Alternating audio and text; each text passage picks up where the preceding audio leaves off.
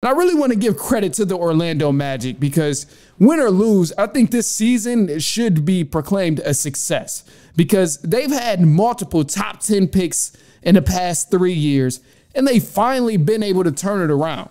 This is a team that's been stuck in the lottery for year after year after year, and now you see them actually stacking pieces and making something happen. You look four years ago, four years ago, four years back, the Orlando Magic only won 21 games. Now they won 47 games and they're in the playoffs and they, they have a legitimate chance to beat the Cleveland Cavaliers. So, I mean, they should definitely be proud of that. And the fact that there's been actual progression over these years of, of, getting multiple draft picks is huge because there's a lot of teams, much like the Detroit Pistons, which I hate that they've been doing, they don't see any progress at all. they've been struggling. They've been getting worse for the last four to five years, even though they've been getting top 10 picks in the NBA draft. So I, I got to give a lot of credit to the Orlando Magic and, and just stepping it up making sure they got the right pieces, making sure they're doing the right trades um, to get these guys. Because go back to 2021, they won 21 games there. In 2022, 22 games. 2023, 34 games. And now they got 47 games. And they play the Cleveland Cavaliers. But the Orlando Magic, they look very, very promising. And they actually have direction and a solid foundation within this team. So that that's huge for them. Um, but the Cavs in the Mavs series, originally, I favored the Cleveland Cavaliers to win this because that's a solid team over there. They got a lot of talent. And, and that was why I was favoring them because of the talent they have on that roster.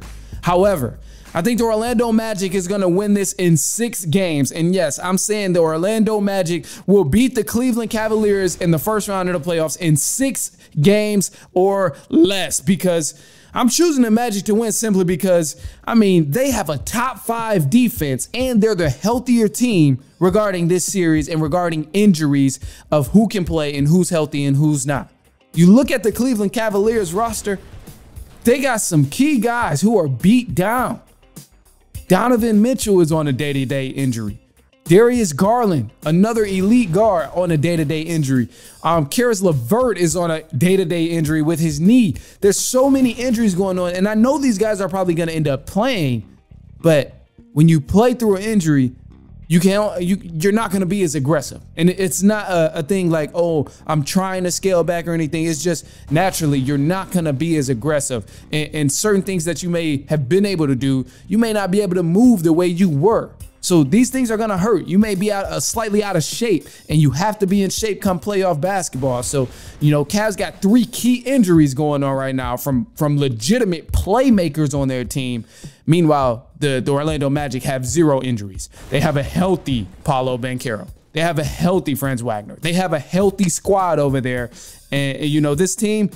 They're third in points allowed right now, and, and they fighting with nothing to lose. So I think they're gonna actually do what it takes to get over that hump and, and beat the Cleveland Cavaliers in six games.